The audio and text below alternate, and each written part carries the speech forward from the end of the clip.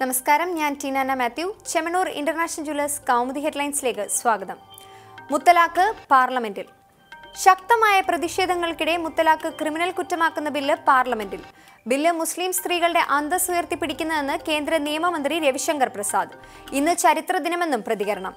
രവിശങ്കർ പ്രസാദ് അവതരിപ്പിച്ച ബില്ലിൽ പ്രതിഷേധം ശക്തമാക്കി പ്രതിപക്ഷം. മുത്തലാഖ് ബില്ലിനെ പിന്തുണച്ച കോൺഗ്രസ് എതിർക്കുന്നത് നിയമ ഭേദഗതിയിലെ മൂന്ന് വർഷം തടവ് ശിക്ഷ എന്ന വ്യവസ്ഥയെ മാത്രം. ബില്ല് പാർലമെന്റിൽ അവതരിപ്പിച്ചത് മുത്തലാഖ് നിരോധിക്കാനുള്ള കേന്ദ്ര നീക്കത്തിനെതിരെ മുസ്ലിം വ്യക്തി നിയമ ബോർഡ് പ്രതിഷേധം ശക്തമാക്കവേ. മുസ്ലിം വനിതാ വിവാഹ അവകാശ സംരക്ഷണ ബിൽ എന്ന പേരിൽ സുപ്രീം കോടതി നിർദ്ദേശപ്രകാരം ആഭ്യന്തരമന്ത്രി രാജ്നാഥ് സിംഗ് അധ്യക്ഷനായ മന്ത്രിതല സമിതി തയ്യാറാക്കിയ ഭേദഗതിയാണ് രവിശങ്കർ പ്രസാദ് അവതരിപ്പിച്ചത്. ബില്ല് വ്യവസ്ഥ ചെയ്യുന്നത് മുത്തലാഖ് ചൊല്ലുന്ന പുരുഷന് മൂന്ന് വർഷം വരെ തടവും പിഴയും ഉറപ്പാക്കുന്ന ശിക്ഷ. മുത്തലാഖിന് വിധേയാകുന്ന ഭാര്യയ്ക്ക് ഭർത്താവിനെതിരെ പോലീസിനെ സമീപിക്കുകയോ നിയമസഹായം തേടുകയോ ചെയ്യാം. പ്രായപൂർത്തിയാകാത്ത മകളെ തനിക്കൊപ്പം വിടണമെന്ന് ഭാര്യയ്ക്ക് കോടതിയിൽ ആവശ്യപ്പെടാം.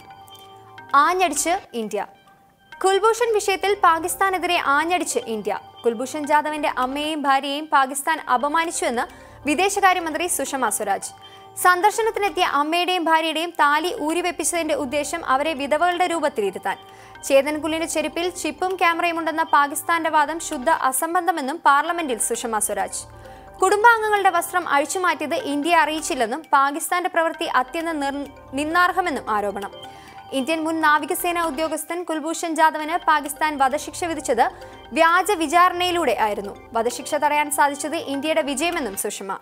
കൂടിക്കാഴ്ച ആരംഭിച്ചത് ഇന്ത്യയുടെ നയതന്ത്രജ്ഞനില്ലാതെ. വിഷയത്തിൽ ഔദ്യോഗിക പ്രതിഷേധം ഇന്ത്യ പാകിസ്ഥാനെ അറിയിച്ചുവെന്നും കുൽഭൂഷന്റെ കുടുംബത്തിന് പാകിസ്ഥാനിൽ വെച്ച് ഏൽക്കേണ്ടി വന്ന അപമാനത്തിൽ രാജ്യവും പാർലമെന്റും ഒരേ സ്വരത്തിൽ പ്രതിഷേധിക്കുന്നുവെന്നും മന്ത്രി. പാകിസ്ഥാൻ അപമാനിച്ചത് രാജ്യത്തെ കോടാനുകോടി സ്ത്രീകളെയെന്ന് പ്രതിപക്ഷവും. ഇനി ഇന്നത്തെ മറ്റു ചില പ്രധാന വാർത്തകൾ നോക്കാം. വാർത്തകൾ ഒറ്റനോട്ടത്തിൽ നടി പാർവതിയുടെ അഭിപ്രായ പ്രകടനത്തിൽ വിവാദം ശക്തമാകുന്നതിനിടെ നടിയെ പിന്തുണച്ച് മന്ത്രി എ കെ ബാലൻ. നടിയുടെ അഭിപ്രായ പ്രകടനത്തിൽ തെറ്റില്ലെന്നും വിവാദങ്ങൾ ഉണ്ടാകുമ്പോൾ ഇടപെടേണ്ടവർ ഇടപെട്ട് അവിടെ തന്നെ തീർക്കേണ്ടതായിരുന്നുവെന്നും പ്രതികരണം. ഈ സംഭവം വലിച്ചു നീട്ടിക്കൊണ്ടു പോകുന്നത് അശാസ്യമല്ലെന്നും എ കെ ബാലൻ.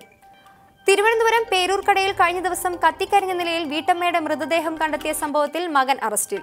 പിടിയിലായത് മരിച്ച ദീപ അശോകിന്റെ മകൻ അക്ഷയ്. അമ്മയുമായുണ്ടായ വാക്കുതർക്കമാണ് കൊലപാതകത്തിൽ കലാശിച്ചതെന്ന് പോലീസ്. ചൊവ്വാഴ്ചയാണ് ദീപയുടെ മൃതദേഹം കത്തിക്കരിഞ്ഞ നിലയിൽ അമ്പലമുക്കിലെ വീട്ടിൽ കണ്ടത്. ഭരണഘടനയെക്കുറിച്ച് നടത്തിയ വിവാദ പ്രസ്താവനയിൽ മാപ്പ് പറഞ്ഞ് കേന്ദ്രമന്ത്രി അനന്ത്കുമാർ ഹെഗ്- ഹെഗ്ഡെ. ഭരണഘടനയാണ് പരമോന്നതമെന്നും അതിനെ ബഹുമാനിക്കുന്നുവെന്നും ഹെഗ്ഡെ. വിവാദമായത് മതനിരപേക്ഷത എന്ന പദം ഭരണഘടനയിൽ നിന്ന് ഒഴിവാക്കണമെന്ന പ്രസ്താവന. ഇന്ത്യൻ ഭരണഘടന ബി ജെ പിയിൽ നിന്ന് വലിയ ഭീഷണി നേരിടുന്നുവെന്ന് കോൺഗ്രസ് അധ്യക്ഷൻ രാഹുൽ ഗാന്ധി. രാജ്യത്തിന്റെ അടിസ്ഥാനശിലയായ ഭരണഘടനയെ തകർക്കാനുള്ള ബി ജെ പിയുടെ ശ്രമം അപകടകരമാണ്. ഭരണഘടനയ്ക്കെതിരായ പ്രസ്താവനകൾ നടത്തുന്ന നേതാക്കളുടേത് നേരിട്ടുള്ള ആക്രമണമെന്നും രാഹുൽ. പാചകവാതകത്തിന്റെ പ്രതിമാസ വില വർധന കേന്ദ്ര സർക്കാർ വേണ്ടെന്ന് വെച്ചേക്കും. മുൻമാസത്തെ എണ്ണവിലയും വിനിമയ മൂല്യവും കണക്കിലെടുത്താണ് പ്രതിമാസം വർധന വരുത്തിയിരുന്നത്. കഴിഞ്ഞ മെയ് മാസം വരെ രണ്ട് രൂപയാണ് വർദ്ധിപ്പിച്ചിരുന്നത്. എന്നാൽ നവംബർ മുതൽ വർധന നാല് രൂപയാക്കിയിരുന്നു. റഷ്യയിലെ സെന്റ് പീറ്റേഴ്സ്ബർഗിൽ സ്ഫോടനം. നഗരത്തിലെ സൂപ്പർ മാർക്കറ്റിലുണ്ടായ സ്ഫോടനത്തിൽ നിരവധി പേർക്ക് പരിക്ക്.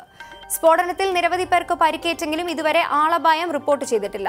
ആക്രമണം നടന്നത് ഇന്നലെ രാത്രി പത്തരയോടെ സെന്റ് പീറ്റേഴ്സ്ബർഗിലെ തിരക്കേറിയ വ്യാപാര കേന്ദ്രത്തിൽ.